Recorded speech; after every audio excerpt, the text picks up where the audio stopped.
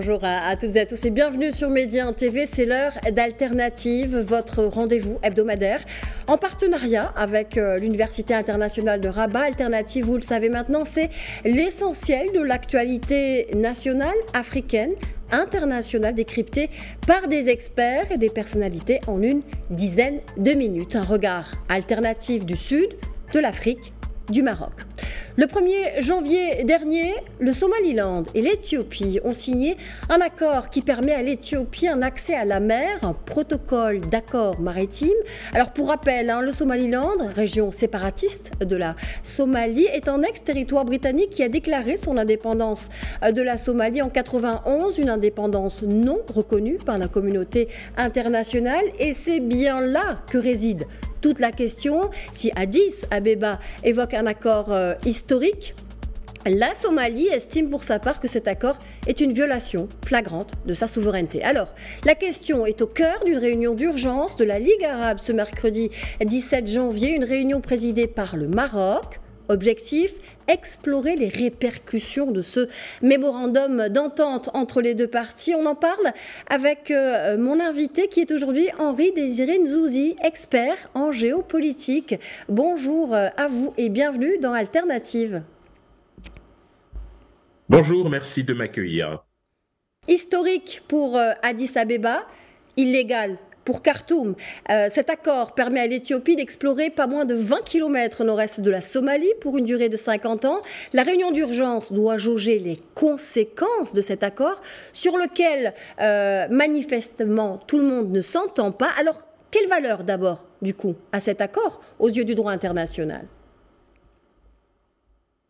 Il faut d'abord d'emblée euh, rappeler, c'est que depuis 1993, depuis donc l'indépendance de l'Érythrée, l'Éthiopie est privée de façade maritime. Ça veut dire que ce pays est enclavé, ce qui lui pose beaucoup de problèmes, notamment sur le plan économique. C'est d'ailleurs une des raisons pour lesquelles l'Éthiopie euh, passe par Djibouti pour pouvoir euh, exporter euh, ses biens et services. Maintenant, il faut bien comprendre que le Somaliland, vous l'avez rappelé, qui s'est séparé de la Somalie en 91 et qui a été reconnu par un seul pays qui lui-même n'est pas reconnu par la communauté internationale, on pense évidemment euh, à Taïwan, eh bien, euh, le Somaliland a effectivement euh, noué, en tout cas signé un protocole d'entente avec l'Éthiopie. Ce qui pose problème, c'est deux choses. La première, bien évidemment, c'est que du point de vue de la Somalie, et cela peut se comprendre, cela viole bien évidemment à la fois la souveraineté de ce pays, d'autant que depuis quelques mois, il y avait une reprise des pourparlers entre le Somaliland et la Somalie pour essayer de revenir à une forme de euh, normalité. Ce mémorandum d'entente qui, c'est vrai, sur le plan économique, n'offre que des avantages euh, à l'Éthiopie, pose un autre problème, c'est que, vous le savez, depuis euh, le début de cette année, l'Éthiopie, au même titre que l'Égypte, a rejoint les BRICS. Il se trouve qu'au sein des BRICS, vous avez qui a des velléités à l'égard de Taïwan qu'il ne reconnaît pas, ce même pays qui reconnaît euh, le Somaliland avec lequel l'Éthiopie désormais entend, euh, je dirais, euh, collaborer.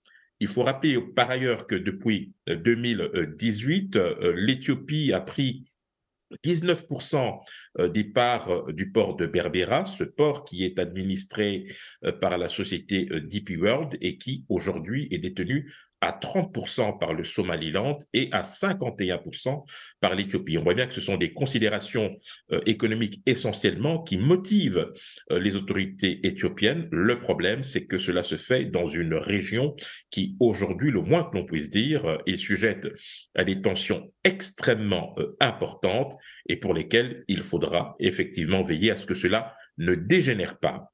Effectivement, précisément, euh, Henri Nzouzi, hein, et on va revenir à l'objet de cette réunion d'urgence euh, ce 17 euh, janvier, présidée par le Maroc, hein, réunion de, la Ligue arabe. La Somalie est meurtrie depuis des années par le terrorisme, des conflits internes, et elle estime donc que ce protocole d'accord aggravera davantage la situation dans la région. Est-ce qu'on peut avoir votre analyse sur ce point? Oui, tout à fait. Je, voudrais que l'on reparte des BRICS parce que c'est très important. Vous savez que euh, l'an dernier, six pays ont rejoint les BRICS. Parmi ces six pays, vous avez l'Égypte, euh, l'Éthiopie, l'Argentine, euh, vous avez également l'Arabie saoudite et l'Iran. Et donc, aujourd'hui, vous avez une organisation au sein de laquelle vous avez des membres qui, à défaut de se faire la guerre, sont dans une guerre permanente de positionnement.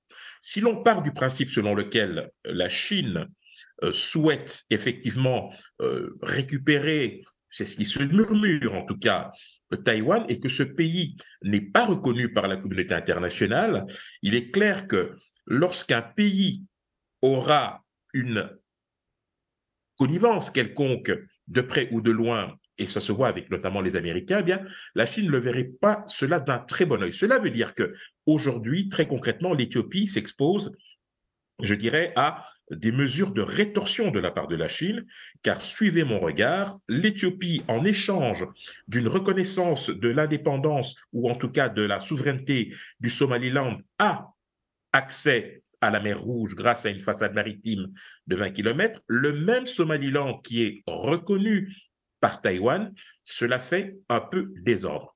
Un autre élément très important, j'ai cité tout à l'heure l'Arabie saoudite et l'Iran.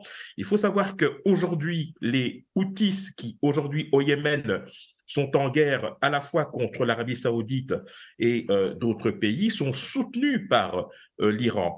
Or, l'Iran et l'Arabie saoudite sont tous les deux membres des BRICS. On voit très bien que ça devient très, très compliqué. Et je pense qu'il y a une fenêtre d'opportunité, notamment pour la Ligue arabe, et vous l'avez évoqué, le Maroc, euh, justement, préside cette réunion des ministres des Affaires étrangères pour essayer précisément de faire en sorte que les tensions ne s'exacerbent pas et que la situation ne puisse pas dégénérer.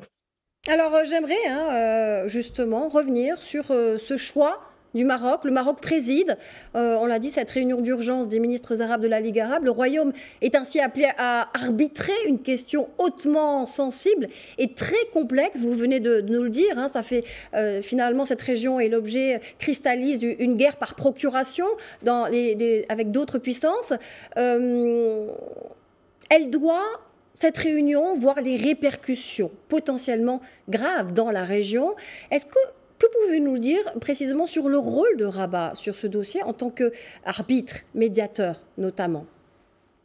Bah, écoutez, le, Maroc est, euh, je dirais, euh, fidèle à, sa tradition. C'est un pays qui a une très grande tradition à la fois euh, de diplomatie et surtout de compromis pour essayer d'arbitrer euh, des conflits en pesant justement de tout son poids pour essayer précisément d'arriver à une solution qui soit euh, acceptable pour toutes les parties. Mais il est important quand même de rappeler que euh, ce qui s'est passé le 1er janvier entre l'Éthiopie et le Somaliland marque un coup d'arrêt des négociations qui avaient pourtant commencé entre le Somaliland et la, la, Somalie pour d'abord essayer de mettre un terme au conflit euh, qui les oppose, mais aussi pour essayer de normaliser une forme euh, de euh, situation. Aujourd'hui, on le voit, l'Éthiopie, qui n'y a pas si longtemps encore était au cœur de l'actualité avec notamment le barrage de la Renaissance et qui s'était mis à dos plusieurs pays, notamment l'Égypte et le Soudan, se retrouve encore aujourd'hui sous le feu des projecteurs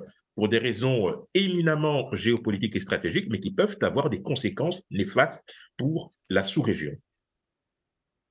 Alors, euh, euh, quelle piste serait à retenir en termes de première solution, justement sur ce dossier extrêmement sensible concernant les répercussions dangereuses dans cette, dans cette région? Et dans l'intérêt euh, des, deux parties, dans l'intérêt de l'Afrique, justement, et essayer de s'affranchir de ce conflit qui est vécu par procuration. Vous savez, si euh, la mise en œuvre de ce mémorandum euh, se fait, le Somaliland ne sera reconnu que par deux pays. Et encore, sur les deux pays, il y en a un qui n'est pas du tout reconnu par la communauté internationale. Je pense évidemment à Taïwan. Donc l'Éthiopie va se mettre inutilement sur la sellette et va effectivement créer les conditions d'une déstabilisation durable, alors qu'il est beaucoup plus aujourd'hui, je dirais, euh, stratégiquement parlant, euh, utile de faire en sorte que le Somaliland et la Somalie poursuivent leurs efforts en vue d'une normalisation. Depuis 1991 et singulièrement depuis 1993, depuis euh, que l'Érythrée est devenue indépendante, le fait que l'Éthiopie n'ait pas accès à une façade maritime n'a pas en soi posé de problème, puisqu'une alternative a été trouvée avec euh, Djibouti. Aujourd'hui, ben, vous avez une situation très compliquée. Je rappelle d'ailleurs que Djibouti est l'arbitre dans les discussions qui avaient été enclenchées déjà depuis 2020 entre le Somaliland et la euh, Somalie. Avec ce mémorandum, eh bien, les cartes sont rabattues et je pense qu'il serait de l'intérêt à la fois de tous les acteurs, je pense évidemment à la Ligue arabe, mais je pense aussi aux BRICS qui peuvent jouer un rôle utile parce que l'Éthiopie fait partie des BRICS et je pense que cela ferait désordre que la Chine puisse, pour des raisons évidentes de susceptibilité, eh bien, reprocher notamment à l'Éthiopie d'avoir noué des relations avec un pays que la communauté internationale ne reconnaît pas, mais que seul Taïwan reconnaît. Et voilà pour euh, les euh, cartes qui sont rebattues dans ce euh, jeu africain et précisément dans cette région complexe, bien complexe. On l'aura compris avec vous, Henri Désiré Nzouzi. Merci, Nzouzi, pardon. Merci d'avoir été avec nous. Merci, c'était un plaisir. À très bientôt. Plaisir partagé, je rappelle que vous êtes expert en géopolitique et merci à vous également. C'est la fin d'Alternative à la semaine prochaine.